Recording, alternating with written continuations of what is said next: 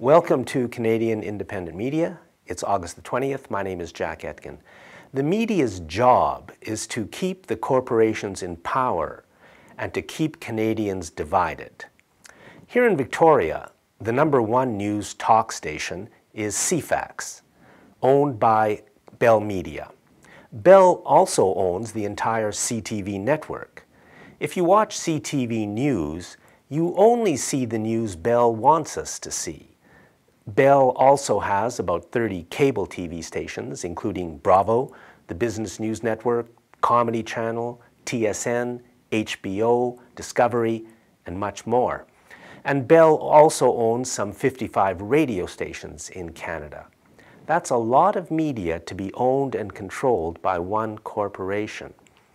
The chairman of Bell Media, Mr. Gordon Nixon, used to be the president and CEO of the Royal Bank. So as the homeless roam our streets and the banks make record profits, the connection between these things is not mentioned by those who want to keep working for Bell Media. And if you want to work for Bell Media or any media in Canada, you will support corporate free trade, corporate tax cuts, war, and anything else that gives the corporation more power or more money. One of Canada's biggest problems is that eight or ten very large corporations own virtually every TV station, radio station, and newspaper in our country. This corporate ownership of so much media is not the free press that a democracy needs. You cannot have a democracy without a free press. This loss of our free media is one big reason why Canada is no longer a democracy ending the corporate control of our media and trying to get honest information is one of the most important things Canadians can do to build ourselves a better country. Next, Ed Johnson with a story on the link between Monsanto and autism. Thank you, Jack. American scientists are now finding a strong correlation between the rising rate of Roundup usage on corn and soy crops and an alarming rise in the number of different chronic autoimmune diseases such as multiple sclerosis and autism spectrum disorder. While correlation does not necessarily mean causation, causation becomes much more likely if a plausible mechanism can be found, as described in a recently published paper in the Journal of Biological Physics and Chemistry. The authors report that glyphosate, one of the active ingredients in Roundup, is found in several widely used vaccines. Viruses in vaccines are grown on animal tissue as a culture medium. The measles virus in particular is grown on gelatin made from the bones of commercially raised cows and pigs that have been fed a steady diet of Roundup Ready corn and soy feed. And not all children respond the same way to vaccines. The authors report that a key factor is an unhealthy gut microbiome, which leads to a leaky gut barrier and subsequently a leaking brain barrier. Today, an unhealthy gut is recognized as a precursor to autism. The report goes on to describe the molecular pathway that glyphosate follows using amino acid transporters to damage the lining of the small intestine.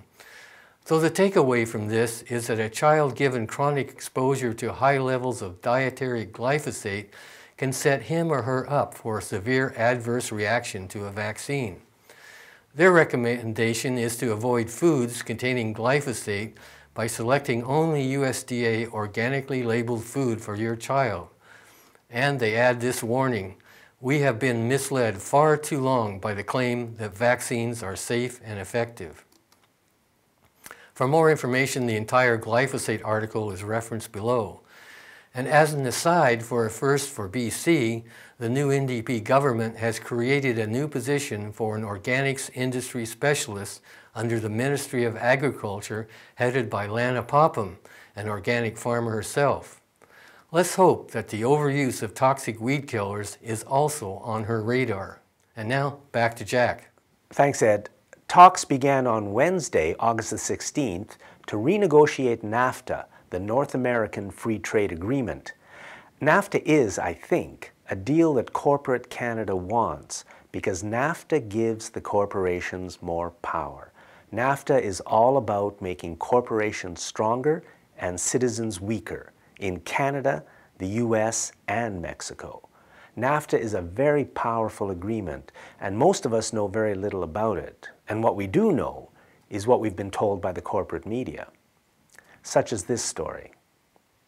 The Globe and Mail, by the way, is owned by Canada's richest family, and NAFTA is no doubt very good for them. Before free trade, we used to have something called the Auto Pact, which basically said that for every car we bought in Canada, one car had to be manufactured in Canada. So, Canada used to have a big auto industry with lots of high-paying jobs, which helped make Canada a prosperous nation. But under free trade, we lost that. And we lost tens of thousands of high-paying jobs in the auto industry. On the other hand, big business has done very well. And I think that's what NAFTA is really all about. So, Jack, where are we at now with NAFTA? Well, the NAFTA renegotiations have begun, but the question is are Canada's negotiators working for the people of Canada or are they working for the corporations of Canada? Personally, I don't trust Chrystia Freeland or Justin Trudeau for one second. I think they both work for corporate Canada. NAFTA is big, and we should all try to keep a close eye on what's happening. In an article published in August, Canadian scientist David Suzuki says the following Wildfires are sweeping British Columbia, but it's not just BC. Thousands of people from here to California have fled their homes as fires rage. Greenland is experiencing the largest blaze ever recorded. Fires have spread throughout Europe. In June, dozens died in Portugal's worst fire ever. Meanwhile, from Saskatchewan to Vietnam to New Zealand, floods have brought landslides, death, and destruction.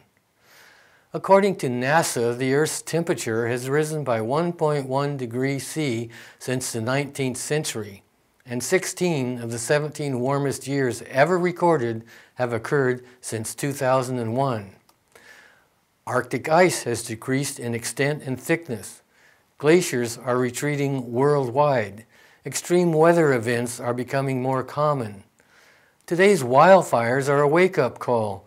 The fires are telling us we can't build more pipelines, we can't expand the tar sands, and we sure can't continue fracking.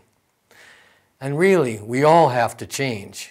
We can't continue driving so much and using so much and wasting so much.